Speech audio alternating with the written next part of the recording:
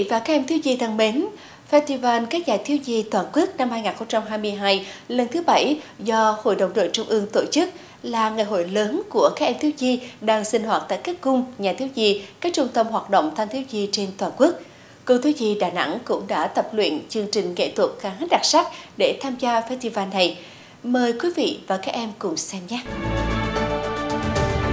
Festival các cung nhà thiếu nhi toàn quốc là một cái hoạt động lớn của thiếu nhi à, toàn quốc à, 5 năm à, tổ chức một lần. À, đây là một sân chơi à, nhằm tạo điều kiện để các em thiếu nhi à, toàn quốc à, được thể hiện à, những năng khiếu à, đặc biệt là trên lĩnh vực nghệ thuật. À, đồng thời hoạt động à, festival năm 2022 cũng là một cái hoạt động để chào mừng đại hội đoàn à, cấp các, cấp, cấp tiến tới đại hội đoàn toàn quốc. À, qua quá trình chuẩn bị của ban tổ chức à, thì à, liên hoan năm nay À, cũng có nhiều cái nội dung à, đặc biệt à, là chương trình nghệ thuật để tham gia festival. Với một cái ý nghĩa đó thì công thiếu nhi Đà Nẵng đã xây dựng chương trình nghệ thuật gồm các tiết mục ca múa nhạc chủ đề về quê hương thành phố Đà Nẵng và về tuổi thơ cùng với các nội dung khác để tham gia tốt trong cái festival lần này ngay từ ban đầu khi mà cái công tác chuẩn bị à, đặc biệt à, với cái um, sự chỉ đạo nghệ thuật của nhạc sĩ Nguyễn Nhẫn là giám đốc công ty nhi thì ekip cũng đã tiến hành lên một cái kịch bản làm sao đó mà nó thể hiện được bản sắc của một thành phố Đà Nẵng, một thành phố đáng sống. À, bên bên cạnh đó chính vì từ ý tưởng đó cho nên ekip um, và bản thân tôi cũng đã tìm tòi để làm sao đó có một cái chuỗi ca khúc nó tốt lên được một cái bản sắc một cái màu của một thành phố Đà Nẵng nhưng không vì thế mà làm mất đi cái không khí của chúng ta đang đón chào đại hội đoàn toàn quốc. Tôi đã chọn cái ca khúc tuổi thần tiên em hát như một khát vọng một ước mơ của một thành phố. Xin chào. Chúng mình là đội ca. Chúng mình là đội múa Chúng mình đã tham gia rất nhiều kỳ liên hoan búp sen hồng. Riêng em thì em rất là thích bài hát Tuổi thần tiên em hát là bài hát mở màn cho chương trình năm nay.